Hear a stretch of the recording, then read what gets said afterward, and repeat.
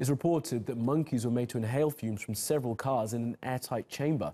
German media says that researchers conducted similar tests on about 25 people. Well, Ira Spitzer is in Berlin and says the country's biggest auto manufacturers are now scrambling to salvage their reputations.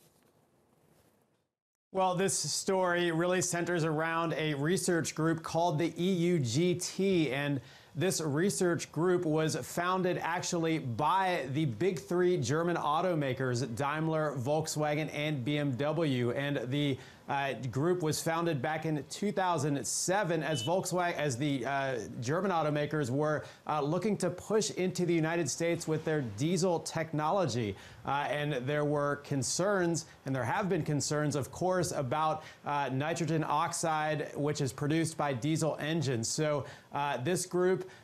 uh, essentially one of their big mandates was to try and counter research research that would show uh, the harmful effects of nitrogen oxide in diesel engines. So uh, this led to this study involving monkeys, which took place in the United States. It's also been reported that the group uh, carried out a study involving humans uh, here in Germany. Now, uh, the university responsible for that study says it was not uh, carried out in an attempt to uh, justify diesel emissions, but still very shocking news, of course, especially uh, with the uh, just sort of the, the general scandal that has uh, engulfed the automakers for the past few years to now find out that they were using uh, humans and animals as test subjects, really disturbing to a lot of people.